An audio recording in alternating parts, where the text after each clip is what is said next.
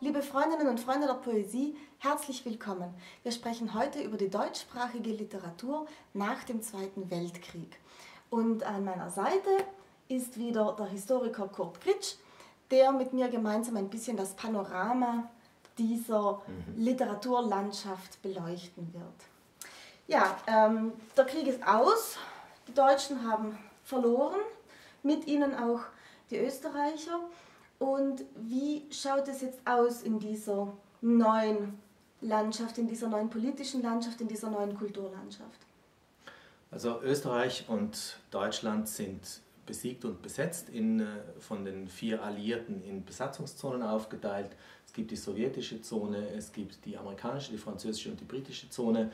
Es gibt im Westen ähm, Re-Education und Entnazifizierung und am Beginn zumindest 1945 bis 1946 und es gibt im Osten ähm, den schrittweisen Aufbau des Sozialismus. Also wir sehen, es beginnt sofort eine Spaltung, nicht nur Deutschlands, sondern auch eine Spaltung, kann man sagen, der ganzen Welt. Das ist richtig. Wir sind hier bereits am Beginn des Kalten Krieges, der dann ab 1947 mit Truman-Doktrin und Containment äh, offensichtlich wird. Mhm. Und äh, was bedeutet das jetzt für die Literatur? Für die Autoren schaut es folgendermaßen aus. Wir haben viele Autoren, die äh, im Exil sind, die geflohen sind vor Verfolgung durch die Nazis. Die stehen jetzt vor der Frage, zurückkehren? Wenn ja, wohin? Es gab mhm. mehrere Möglichkeiten. Man konnte nach äh, Westdeutschland gehen, man konnte nach Ostdeutschland gehen oder man konnte überhaupt nicht ähm, nach Deutschland zurückkehren, sondern zum Beispiel wie Thomas Mann in die Schweiz gehen. Ähm, wohin man gegangen ist, war auch ein bisschen eine Frage der Gesinnung. Das ist richtig. Aus diesem Grund äh, zieht es äh, Bert Brecht in die sowjetische Zone, wo der Aufbau des Sozialismus voranschreitet und er sich als kommunistisch, äh, kommunistischer Autor auch zur richtigen Zeit an der richtigen Stelle wähnt, obwohl man dann auch merkt, dass er durchaus auch eine gewisse Skepsis gegenüber diesem äh, Sowjetkommunismus an den Tag legt. Genau, es entsteht etwas Neues, das ist auch immer eine Chance, das wird auch wahrgenommen als Möglichkeit zum Neuanfang. Viele Autoren, die ähm, vor den Nazis geflohen sind, die träumen von einem Gegenentwurf und möchten an diesem Gegenentwurf mitwirken. Und deswegen wirkt die Sowjetzone für viele als attraktive Möglichkeit, sozialistische Ideen umzusetzen. Das betrifft ja nicht nur Brecht, das betrifft zum Beispiel auch Anna Segers, die mit dem siebten Kreuz äh, bereits einen Bestseller gelandet hatte, mhm. die dann aber entscheidet, in die Ostzone, das heißt zu dem Zeitpunkt ja noch nicht DDR, später heißt mhm. es dann DDR, äh, zu gehen, um dort aufzubauen. Und ich habe hier einen kleinen Büchertisch vorbereitet und wir sehen hier Heinrich Mann, ähm, der Untertan, sein bekanntestes Werk, äh, erscheint nicht nach dem Zweiten Weltkrieg, sondern erscheint während des Ersten Weltkrieges, hat aber nach dem Zweiten Weltkrieg wieder einen äh, ungeahnten Erfolg. Und hier hinten schreibt äh, Heinrich Mann an Ludwig Marcuse ungefähr 1946, wann immer die Deutschen einen Krieg verlieren, drucken sie meinen Untertan. Warum ist der Untertan ein Werk, das nach 1945, nach dem Zweiten Weltkrieg, wieder so viel gelesen wird? Wir finden eine Anknüpfung der nationalsozialistischen Ideologie an das wilhelminische Kaiserreich, die Idee des autoritären Staates und so weiter. Und all das, diese Mentalität eines Untertanen, eben nicht eines Bürgers, sondern eines Untertanen, das beschreibt äh, Heinrich Mann in diesem Buch. Und der nationalsozialistische Mensch war ja auch letzten Endes ein Untertan. Das Führerprinzip hat sich von ganz niedrig bis ganz zum höchsten, äh, eben bis zu Adolf Hitler durchgezogen und da war ein Untertanenmensch gefragt. Und die Basis dieser nationalsozialistischen Untertanenideologie, die geht definitiv zurück äh, in, das, in die wilhelminische Zeit. Genau, und das ist auch ein ganz wichtiger Hinweis hier. Viele Autoren spüren, dass das Problem des Nationalsozialismus nicht beschränkt ist auf die zwölf Jahre der Nazi-Herrschaft, sondern dass das sehr viel tiefere Wurzeln hat. Wurzeln auch in der deutschen Kultur bis ins 19. Jahrhundert, sogar bis ins 18. Jahrhundert, dieser Nationalismus, diese hymnische Literatur, ein gewisser Pathos, diese Vorstellung, dass am deutschen Wesen die Welt genesen soll, das war so ein geflügeltes Wort dieser Zeit. Ähm, und viele Autoren hatten das Gefühl, von dem allem muss man sich lösen, von dem muss man sich lossagen, weg von der Romantik zum Beispiel. Die Romantik wurde gerade zum Beispiel auch von Thomas Mann als eine üble Wurzel des Nationalismus, des Nationalsozialismus sogar äh, angesehen. Die deutsche Sprache galt als kompromittiert. Wer heute noch Deutsch spricht, der verwendet die Sprache der Nazis. So war die Empfindung. Und da hatten natürlich die Autoren ein besonderes Problem, denn ihr Werkzeug ist die Sprache. Und das wissen wir leider auch. Das Image der deutschen Sprache ist bis heute von diesem äh, unseligen Nazi-Sprech äh, geprägt. Mhm. Und wenn deutsche Sprache heute nachgeahmt wird, dann ist es immer noch zackig, kantig und mit kleinem Hitlerbärtchen. Und äh, von diesem Image wollte man weg. Und die Idee dazu war, wir müssen einen radikalen Neuanfang machen, eine Tabula rasa schaffen, einen Kahlschlag. Wir müssen alles zerstören, um alles neu aufzubauen. Kann so etwas gelingen? Gibt es wirklich eine Stunde Null? Es liegt ja auf der Hand, dass so etwas, dass ein solches Unterfangen gar nicht gelingen konnte. Eine Stunde Null gibt es auch gar nicht, weder politisch noch gesellschaftlich noch wirtschaftlich. Wir haben Kontinuitäten und Brüche, aber teilweise sogar mehr Kontinuitäten. Es gibt Leute, die ähm, trotz NS-Vergangenheit und Entnazifizierung äh, relativ bald, vor allem in der Westzone, wieder an äh, relativ gute Posten gekommen sind. Das hat auch damit mit dieser Westeinbindung der späteren Bundesrepublik Deutschland in den US-amerikanischen äh, Machtbereich zu tun. Aber genau das ist äh, das Problem.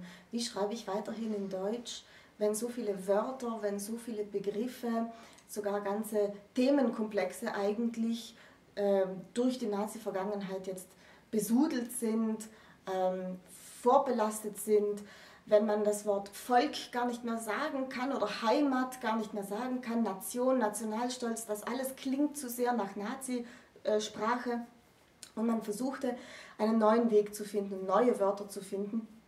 Bert Brecht hat da ähm, schon etwas sehr Interessantes gesagt zum Thema Volk.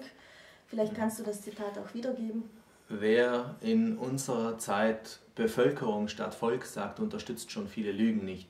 Das war noch über die Zeit des Nationalsozialismus. Genau, also wir sehen eine Sprachsensibilität, die ähm, versucht jetzt mit einer anderen Begrifflichkeit zu arbeiten, um gewisse Bilder nicht mehr hervorzubringen. Eben, sage ich Volk, dann ist es etwas anderes als Bevölkerung. Eine Bevölkerung ist relativ offen, das sind die Leute, die da wohnen. Ein Volk suggeriert, das sind die Menschen, die schon immer von hier waren und die sozusagen die Stamm äh, äh, Ansässigen sind und die anderen, die gekommen sind, die gehören nicht dazu und so weiter. Also das Wort Volk äh, wirkt sehr viel trennender als das Wort Bevölkerung. Äh, und solche Dinge, mhm. die muss man jetzt mitbedenken. Und das ist eben dieser Versuch eines Kahlschlags und weg vom Pathos, weg von äh, schwülstigen Formulierungen, eben auch ein Bruch mit der äh, vorherigen äh, Literaturgeschichte des 19. Jahrhunderts, eben auch weg von der Romantik, äh, weg vom elitären Schreiben, hin zu einer sehr, sehr kargen, kahlen, nüchternen, sachlichen, distanzierten Sprache. Und da haben wir das Thema der Trümmerliteratur. Darüber sprechen wir auch in einem anderen Video, wo wir vor allem auf Wolfgang Borchert eingehen. Aber der Kahlschlag ist ja nicht wie im luftleeren Raum, sondern wie immer hat die deutschsprachige Literatur natürlich auch Vorbilder. Und diese Vorbilder kommen jetzt nicht zum ersten Mal, zum zweiten Mal eigentlich aus Amerika. Und wir erleben eine zweite Welle des Amerikanismus. Es gab eine erste Welle des Amerikanismus nach dem Ersten Weltkrieg in den 1920er Jahren. Diese Welle wurde dann durch den Nationalsozialismus ziemlich abrupt zum Stoppen gebracht. Äh, und jetzt gibt es eine zweite Welle des Amerikanismus, das heißt, man orientiert sich ganz stark an amerikanischen Vorbildern, auch in der Literatur. Äh, Namen, die da häufig genannt werden, sind Ernest Hemingway, äh, William Faulkner. Das sind Autoren, an denen man sich orientiert. Man schreibt Kurzgeschichten, Short Stories. Das wird eine ganz große Mode, aber die Anbindung an Amerika, die findet auf vielen Ebenen statt. Mhm. Und das hat eben mit dieser Re-Education zu tun. Das heißt, äh, dass vor allem die USA 1945 bis 1946 sehr stark darauf setzen, auf eine Umerziehung Deutschlands. Diese Umerziehung, die sehen wir im Bereich eben von Medien, im Bereich von Bildung. Es werden Vorträge veranstaltet, Leute werden gezwungen, in befreite KZs hineinzugehen, um zu sehen, damit sie es auch glauben können, damit sie nicht danach sagen können, ach, das haben nur die Sieger behauptet, aber eigentlich weiß man es gar nicht genau. Allerdings 1946 kommt dann diese Re-Education sehr bald schon zum Erliegen und das hat eben mit dem beginnenden Kalten Krieg zu tun. Mhm. Ich möchte noch einen Moment beim Thema Medien bleiben. Ähm, man versucht also eine neue Medienlandschaft aufzubauen und ein Medium, das hier zum Leitmedium wird, das ist bereits in den 30er Jahren ein Leitmedium gewesen, das ist äh, das Radio. Richtig. Und viele Autoren sehen da auch eine Möglichkeit, ihre Werke an den Mann, an die Frau zu bringen und schreiben Hörspiele. Das ist eine ganz große ähm, Mode in dieser Zeit. Warum ist das so beliebt? Weil man mit Hörspielen viele Leute erreichen kann, die alle zu Hause ein Radiogerät haben, aber vielleicht jetzt nicht dauernd ähm, Bücher kaufen würden. Das Radio ist auch sehr äh, familientauglich. Da kann man gemeinsam dran sitzen und sich das anhören. Vergessen wir nicht, äh, gemeinsames Fernsehen, das wird erst viel später in Mode kommen. Und äh, die Produktion eines Hörspiels ist nicht so aufwendig wie die Produktion eines Films. Deswegen ist es auch ähm, vom Aufwand her noch relativ überschaubar. Und deswegen ist das Hörspiel eigentlich die große neue äh, Entwicklung, die wir da sehen. Und eigentlich alle namhaften Autorinnen und Autoren äh, dieser Zeit bis in die, ja, eigentlich fast bis in die Gegenwart, die schreiben Hörspiele auch, äh, auch heute noch gibt es das. Heute hat das Hörspiel an Bedeutung verloren, aus Gründen, die wir wissen. Aber in der damaligen Zeit gibt es eigentlich zum Radiohören nicht so viele Alternativen und deswegen ist es eine gute Möglichkeit, als Autor bekannt zu werden. Ich möchte da auch ein Beispiel zeigen. Ähm, hier habe ich ähm, Heinrich Böll. Es ist ein Buch, das ein bisschen einen Querschnitt seiner Werke zeigt und hier steht eben Erzählungen, Hörspiele. Aufsätze. Er hat natürlich anderes auch geschrieben, aber wir sehen die Hörspiele direkt prominent an zweiter Stelle und das betrifft viele Autoren, unter anderem zum Beispiel auch Günter Eich. Äh, zudem habe ich auch ein Video gemacht. Das Gedicht Träume ist Teil äh, des Hörspiels Träume von Günter Eich und wir sehen, viele Werke entstehen für das Radio. Aber bleiben wir noch einen Moment bei den klassischen Medien, bei der Presse. Es entsteht auch eine interessante äh, Zeitung deutscher Kriegsgefangener. Diese Zeitung heißt Der Ruf. Und die Herausgeber sind Hans-Werner Richter und Alfred Andersch. Sie gründen diese Zeitung als Versuch einer sozialistischen ähm, Stimme in der Zeit, wo noch alles offen und neu scheint. Aber sehr schnell merken sie, dass sie mit diesem sozialistischen Schreiben und auch mit diesem Amerika-kritischen Schreiben nicht so gut ankommen. Diese Zeitung Der Ruf wird äh, im amerikanischen Sektor bald verboten und die beiden Herausgeber müssen sich zurückziehen aus diesem Projekt. Und es entsteht ein neues Projekt und zwar entsteht die sogenannte Gruppe 47. Und die ist dann äh, vielleicht gar nicht so sehr für die 40er Jahre, aber dann für die 50er und 60er Jahre entscheidend. Mhm. Was an der Gruppe 47 so interessant ist, äh, es entsteht zunächst einfach die Idee, dass man sich als lockere Freundesgruppe trifft und in dieser Runde äh, Texte vorliest, neue Texte, die man geschrieben hat und dann diskutiert man diese Texte. Das war auch eine Übung in Demokratie. Das hat auch mit diesem neuen demokratischen Verständnis zu tun. Das müssen die erst lernen, wie man demokratisch über Literatur debattieren kann. Ähm, aber sehr rasch eigentlich wächst die Bedeutung dieser Gruppe über diese lockere Freundeskreis-Geschichte ähm, hinaus. Und sehr bald wird das Treffen der Gruppe 47 zum Anziehungspunkt für äh, junge Literaten, arrivierte Literaten, Literaturkritiker, literaturinteressiertes Publikum und es wird zu einer Institution. Das war nicht von vornherein so geplant, es hat sich dann aber so entwickelt und es hat dazu geführt, dass Autorinnen und Autoren, die in dieser Gruppe vorlesen durften, ähm, Kontakte knüpfen konnten, zum Beispiel mit Verlagen, ähm, die dann, dann die Aufmerksamkeit bekommen haben, der Kritiker, die plötzlich in größeren Zeitungen rezipiert wurden. Ich habe vorhin Heinrich Böll gezeigt.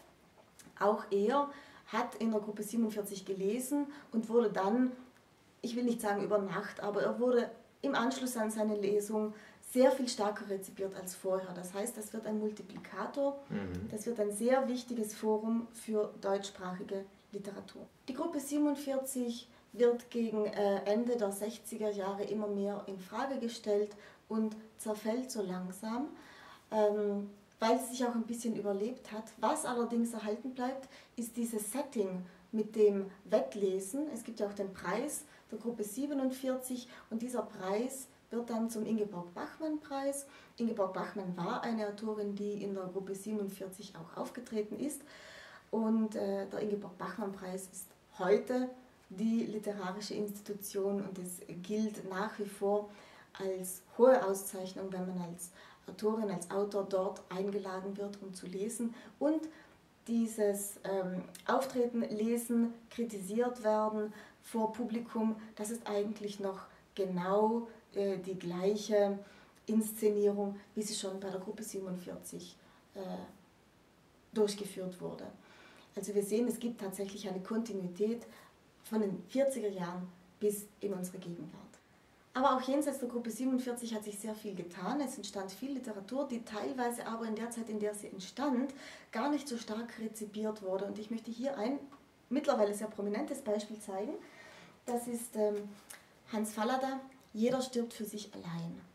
Das Buch äh, ist 1947 erschienen und ist eigentlich das Buch, äh, das als erstes von einem Autor, der während der Nazizeit und während des Zweiten Weltkrieges in Deutschland war, äh, beschreibt, wie es sich anfühlt, in diesem Land zu leben, was es bedeutet, dort äh, Widerstand zu leisten, was es bedeutet, dort ähm, seinen Alltag irgendwie aufrechtzuerhalten.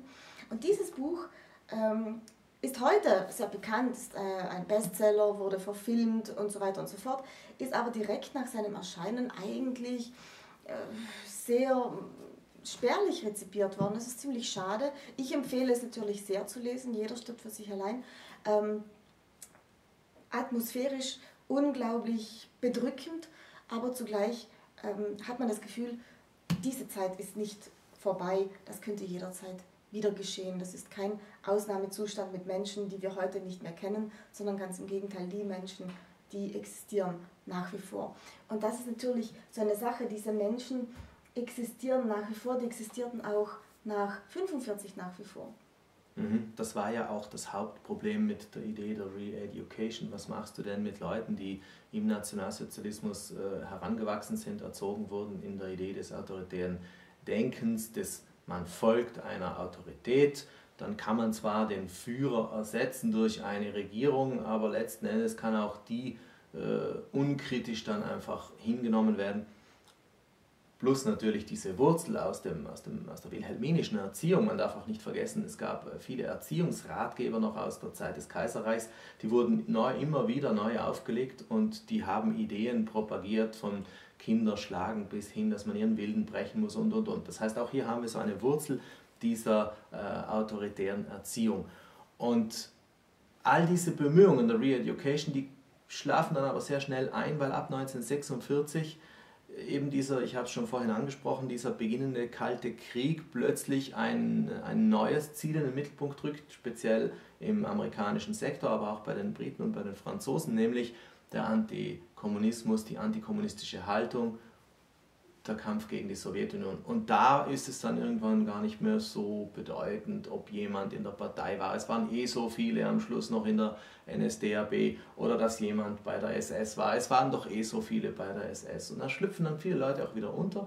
Und so muss man sagen, kommt es zu einer Restauration in Deutschland, zwar nicht direkt des nationalsozialistischen Denkens, aber doch eines sehr autoritären Denkens und man knüpft an konservative Werte an. Die CDU wird dann gegründet und Konrad Adenauer wird dann der erste Bundeskanzler der äh, Bundesrepublik Deutschland und da haben wir genau diese äh, Orientierung an konservativen christlichen Werten, die sich sehr gut verknüpfen lassen mit dem autoritären Denken der nationalsozialistischen Zeit. Ja, eben. Und so verwundert es nicht, dass jene Werke, die sich explizit mit der Nazi-Vergangenheit, mit der unmittelbar ausgestandenen Nazi-Vergangenheit auseinandersetzen, gar nicht so großartig rezipiert äh, und besprochen werden, sondern dass jetzt Werke gefragt sind, die vielleicht eher die Gegenwart reflektieren oder diesen, diese Aufbruchstimmung, dieses nach vorne streben, wir schauen nicht mehr zurück, wir schauen, was kommt jetzt als nächstes. Ähm, das war eigentlich beliebter und das ist sehr schade, denn dadurch sind Werke ein bisschen unter den Tisch gefallen. Ich habe hier Ilse Eichinger, das ist eine österreichische Autorin, die schreibt das Buch Die größere Hoffnung. Darin beschreibt sie, ähm, was dem jüdischen Mädchen Ellen so widerfährt ähm, während der Judenverfolgung. Und mit diesen Büchern konnte man damals gar nicht so viel punkten, wie man sich das jetzt vielleicht heute vorstellen würde. Man wollte von dieser Zeit nicht mehr so viel hören. Man wollte einfach mal das auch gut sein lassen und jetzt mal nach vorne schauen. Und äh, noch ein weiteres Buch, das ich als wärmste Leseempfehlung hier geben möchte, ist Oskar Maria Graf, Unruhe um einen Friedfertigen. Auch dieses Buch in den 40er Jahren erschienen, äh, ist jetzt nicht der große Bestseller geworden, der es sein müsste. Also ich finde, dieses Buch verdient es, mehr gelesen zu werden, viel gelesen zu werden, denn auch hier ist eine Atmosphäre beschrieben, jetzt im ländlichen Raum. Jeder steht für sich allein, spielt in der Stadt. Unruhe um einen Friedfertigen spielt im ländlichen Raum. Und äh, wer wie wir auch im ländlichen Raum leben, die können vielleicht noch viel stärker nachvollziehen, was hier drin steht. Auch hier hat man das Gefühl, diese Zeit und diese Menschen, die sind nicht so weit weg. Das ist alles noch lange nicht äh, ausgestanden. Äh, oder wie Bert Brecht geschrieben hat, der Schoß ist fruchtbar noch, aus dem das kroch. Bleiben wir jetzt äh, bei unserem kleinen Büchertischlein. Ich möchte noch auf dieses Buch hier hinweisen, Arc de Triomphe. Das äh, schaut ein bisschen mitgenommen und abgegriffen aus. Das ist nämlich tatsächlich die Erstauflage von 1947. Das Buch ist äh, von Erich Maria Remarque, erschienen in einem kleinen äh, Schweizer Verlag, Micha Verlag.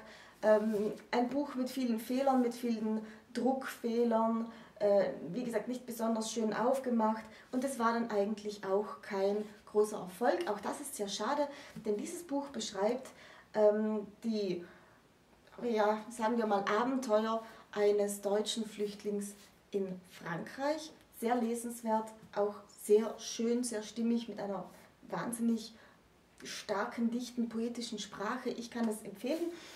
Es ist also ein seltsames Phänomen, dass in den 19 40er Jahren bereits unmittelbar nach dem Zweiten Weltkrieg Werke entstehen, die sich mit der Nazizeit auseinandersetzen. Ich denke da zum Beispiel auch an die Lyrik äh, von Paul Celan oder von Nelly Sachs. Aber die Rezeption ist doch sehr verhalten und äh, erst sehr viel später werden diese Autoren und ihre Werke äh, angemessen gewürdigt. Woran liegt das? Mhm. Ja, das liegt eben an dieser Zeit der 1940er Jahre, wo es darum geht, jetzt antikommunistisch, antisowjetisch zu sein und die Gesellschaft wird darauf eingestimmt. Ich denke, es hängt auch damit zusammen, dass in Deutschland die Scham über den verlorenen Krieg sehr groß war. Ähm, man wollte auch eben deshalb nichts wissen über die Verbrechen. Und erst ungefähr 20 Jahre später, Mitte der 1960er Jahre, kommt dann mit den Auschwitz-Prozessen in Frankfurt, wird die deutsche Vergangenheit plötzlich äh, einer breiteren Öffentlichkeit, äh, für eine breitere Öffentlichkeit ein Thema. Und da werden dann sehr stark äh, Werke rezipiert, die sich schon früh kritisch mit dem Nationalsozialismus auseinandergesetzt haben. Das ist dann die Zeit der sogenannten Abrechnung mit den Nazi-Vätern und nazi Genau, und es entstehen in dieser Zeit auch weitere Werke, die sich mit dieser Abrechnung beschäftigen. Unter anderem Siegfried Lenz Deutschstunde, das habe ich da hinten raufgestellt, oder von Peter Weiß das dokumentarische Drama Die Ermittlung. Aber damit schließen wir jetzt mal unsere Betrachtung der unmittelbaren Nachkriegszeit ab und im nächsten Teil geht es dann um die 1950er Jahre.